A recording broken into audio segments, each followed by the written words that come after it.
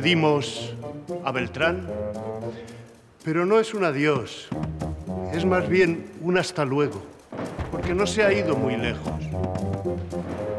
Porque recordamos el Salmo de Juan, todo aquel que crea en mí será resucitado. Perdón, perdón. Perdone, no, yo no, no quería. Perdón.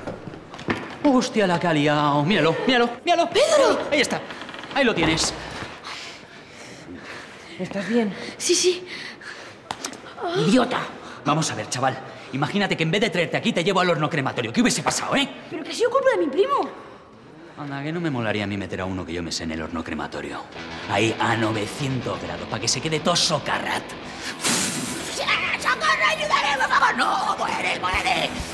A ver quién iba a venir el próximo puente a currar. ¿Yo? ¿O su puta madre? Esto, y digo yo que a tu primo habría que darle su merecido, ¿que no?